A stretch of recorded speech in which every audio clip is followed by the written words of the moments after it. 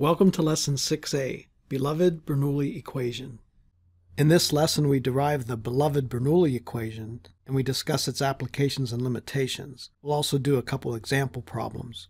First, the derivation. We start with the head form of the energy equation. Recall that we developed this in a previous lesson along a streamline from upstream location 1 to downstream location 2. This is the form without any pumps or turbines. Now let's simplify further, namely let's let the irreversible losses, the HL term, be negligible, and that's all the derivation we need. This yields what I call the beloved Bernoulli equation. All the terms in this equation have dimensions of length, or head, which is pressure expressed as an equivalent column height of a fluid. Alternatively, we can multiply each term by rho g and get this equation, where all terms have dimensions of pressure. Keep in mind that we're talking about flow through some kind of a duct, perhaps along a streamline. But 1 and 2 can be any two locations along that streamline. So this equation in general says that this grouping of terms is constant along the streamline, which I write here. This is the most beloved form of the Bernoulli equation.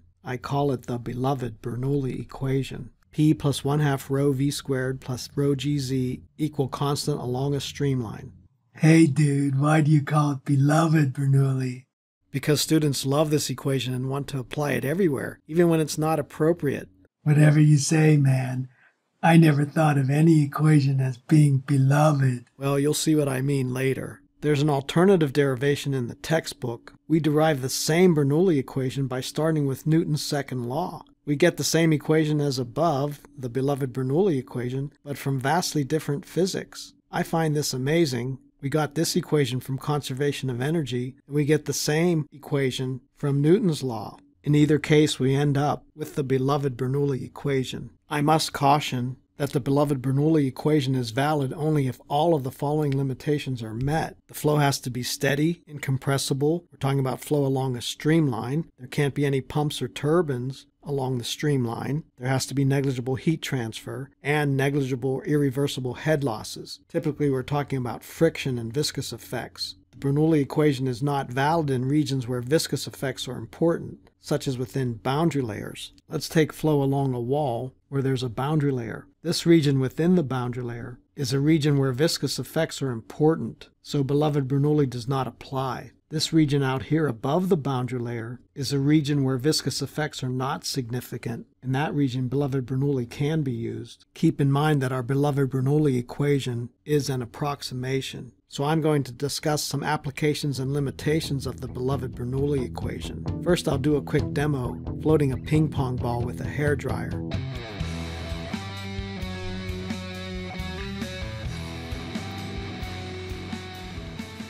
How does the ball stay there? Well, here are some streamlines. If the ball shifts a little bit to the left, the flow will no longer be symmetric, and the flow on the right side will be at a higher speed than the flow on the left side, since more of the air is blowing on the right side. Beloved Bernoulli tells us that the pressure here will be lower since the velocity is higher. That'll provide a restoring force that brings the ball back. Now consider lift on a wing. Here's a two-dimensional wing. I've outlined the boundary layer and the wake. This orange-covered region is viscous, and therefore Bernoulli equation is not valid in that region. But out here, outside the boundary layer and the wake, we can apply the Bernoulli equation. On the top of the wing, we have high speed, therefore low pressure. Here, for an airplane wing in air, we ignore elevation effects. And you could see that when V is high, P is low. In the region below the wing, we have a lower speed and therefore a high pressure. Well, high pressure at the bottom of the wing and low pressure at the top of the wing leads to a net lift force, which we'll call FL. The beloved Bernoulli equation is quite valuable when analyzing airplane wings. Now consider long straight sections of pipe flow. Suppose we have a section of pipe that's fully developed and laminar. I sketched the velocity profiles. Consider a streamline from some location 1 to some downstream location 2 along a streamline right in the middle of the pipe. Let's apply beloved Bernoulli. I'll use the head form. Mr. Student, what can you conclude about P1 and P2? Well, dude, if it's fully developed, then V2 has to equal V1, man. Okay, so these two cancel. And since the pipe is horizontal, the Z's have to cancel out, dude. Okay, I'll cross those terms out. Then P1 has to equal P2. Well, does that make any sense? I don't know, dude. I'm confused. Well, we know that P1 can't equal P2. In fact, since there are head losses due to friction, beloved Bernoulli does not apply. To solve this problem properly, we have to go back to the head form of the energy equation and include the head loss term. So you must use this equation instead. You tricked me, dude. Now I know why they call it the beloved Bernoulli equation. Yes, it's beloved because students always want to use it, but you have to be careful to apply beloved Bernoulli only where it's appropriate. Let's look at converging and diverging pipes or ducts. Suppose we have a converging duct with flow from left to right. As we go through this converging duct, speed must increase to conserve mass. Therefore, pressure must decrease. If we have the opposite case, diverging duct, the speed decreases to conserve mass. Therefore, P must increase. But how can pressure increase in the direction of the flow? I talk about this in a little more detail in this short two minute video. I'll show a clip from that here. But how can the flow go downstream if the pressure upstream is lower? Well, you need to remember that this section of duct is just one section in an overall duct system. I'll show you. Suppose the whole duct looks like this. If the flow is driven by a high pressure tank, we have approximately stagnation conditions here. This is what drives the flow. But in each section, pressure can go up or down. In the converging part, velocity goes up, and pressure goes down. In the diverging part, velocity goes down and pressure goes up. This part's also converging. The bottom line is that as speed increases, pressure decreases. And as speed decreases, pressure increases. Only this part is the section of duct that was on the exam. Thanks, Professor. That makes sense. Of course it does. Thank you, sir. Well, I still find it hard to believe, dude. Then go back and reread the book and study your notes. And don't call me dude.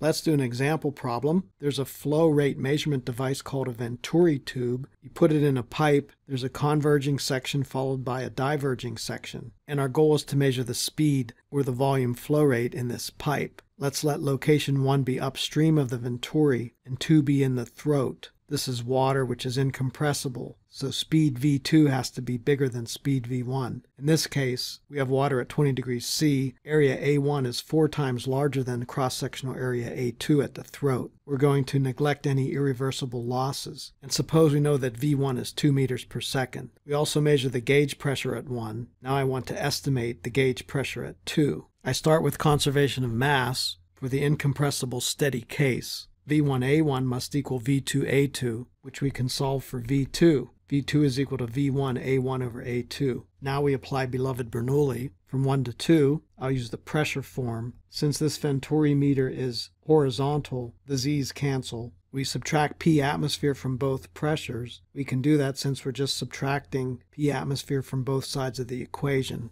So now we have P1 gauge and P2 gauge. But plug in this equation from conservation of mass. A little bit of algebra yields P2 gauge equal P1 gauge minus 1 half rho V1 squared, A1 over A2 squared minus 1. We were given in the problem statement that A1 over A2 is 4, and this is our answer in variable form. I plug in the values with some unity conversion factors, and I get 20.060 kPa. I give my final answer to three significant digits, 20.1 kPa. Now let's look at a pitot-static probe.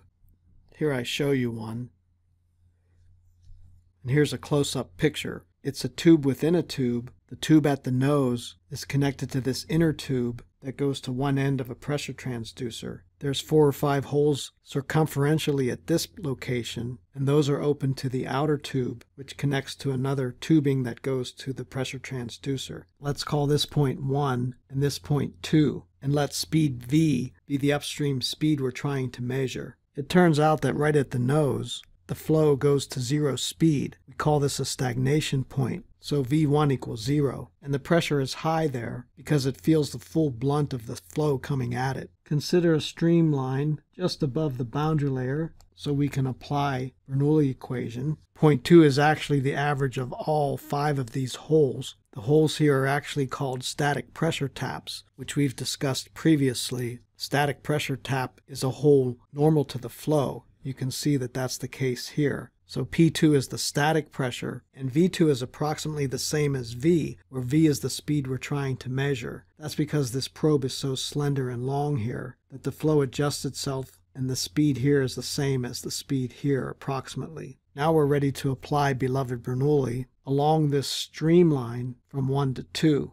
I'll use the pressure form again. P1 plus 1 half rho V1 squared plus rho G Z1 equal P2 plus 1 half rho V2 squared plus rho G Z2. The elevations cancel out even if this is a liquid, because the probe is horizontal and 2 is actually an average of all these static pressure taps, so the average Z is the same as the Z at 1. We said that V1 was 0, since it's a stagnation point, so that term goes away. And we said that V2 was V, so beloved Bernoulli reduces to P1 equal P2 plus 1 half rho V squared, which we can solve for V. V equal square root of 2 over rho times P1 minus P2. Notice that this is what the transducer is reading. It's a differential pressure transducer. You can use a manometer instead, but this transducer measures P1 minus P2. Or you can just call that pressure difference delta P. So V is just 2 delta P over rho. This is called the Pitot formula, and it's used to measure speed in a flow. Keep in mind that you have to align this probe with the flow, in other words, parallel to the flow. So this is especially useful in situations where you know the direction of the flow, for example in a wind tunnel. So finally let's do an example problem using a pitot-static probe. We use a pitot-static probe to measure the wind speed in a wind tunnel. The air is warm, 40 degrees C, and we measure the pressure difference between the two ports of the probe with a transducer that reads out in centimeters of water. It's not unusual to have pressure transducers that have these units, and our reading is 17.65 centimeters of water. What's the speed of the air in the wind tunnel? I'll use the Pitot formula we just derived, V equals square root of 2 delta P over rho. Be very careful here, we have two different densities. This density is the density of the flowing fluid, which is air, so this density is rho air. At 40 degrees C, you can look up the density of air, or if I had given a pressure, you could calculate it using the ideal gas law. But what is delta P? We go back to our discussion about hydrostatics. When you have a reading like this, we're talking about an equivalent column height of fluid representing a pressure. So delta P is rho G times that equivalent water height. But again, you have to be careful. This rho is rho of the equivalent column height liquid, in this case water. So this rho is rho water. Putting all this together, V is the square root of 2 rho water G H water over rho air and that's our answer in variable form. Finally, we plug in the numbers. These pressure transducers assume that the density of the water is 1,000 kilogram per meter cubed, G, and then our reading, which I converted from centimeters of water to meters of water, divided by rho of the air. We see kilogram per meter cubed on both the numerator and denominator, and since this is meter squared per second squared square root, we don't need any unity conversion factors. I get 55.423 meters per second. To three significant digits, my final answer is 55.4 meters per second. The bottom line is that everybody loves the beloved Bernoulli equation, and it's very useful for lots of situations, as we showed here, but you have to be very careful that you don't apply it where it's not appropriate. Keep in mind all these limitations before you apply the beloved Bernoulli equation. Thanks, dude. Now this is my most beloved lesson. Thank you for watching this video. Please subscribe to my YouTube channel for more videos.